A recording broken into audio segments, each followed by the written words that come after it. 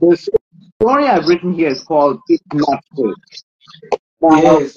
I've the story before that I started reading this book from the age of five, but I've also from the age of five been a huge, and I mean a very huge, professional wrestling fan. Now, before anyone says anything, and before anyone comments in the comment section and says, "Oh, do you know it's fake?" Yes, some of your TV shows and your movies. They're fake. There's no such thing as Iron Man. Captain America real person.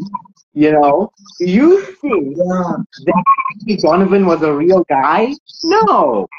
The, the- every TV show you watch, every movie you watch, if you're gonna call pro wrestling fake, you might as well call TV shows and movies fake. Do you know that your call, your so-called reality shows like Survivor, Amazing Race, Celebrity Apprentice, it's all scripted. Keeping Up with the Kardashians, it's not their real day life.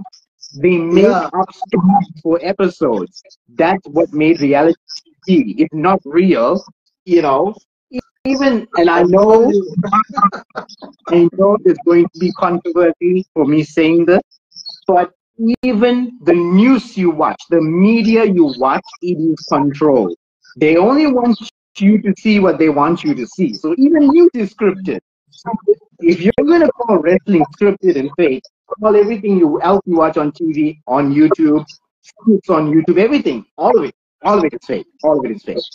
But for the wrestling fans, we don't like the word fake. We prefer the word choreograph. That's exactly what it is.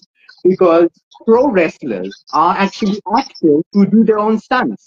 If you watch a movie, it's either a stunt man that's jumping off the cliff, or the actor is attached to the rope that's making it look like he's flying. But he's not really flying. If you go to a wrestling ring, jumping off the top of the rope, there's no rope attached to him. He's literally at the mercy of gravity at that point. So that is why we don't like the word fake.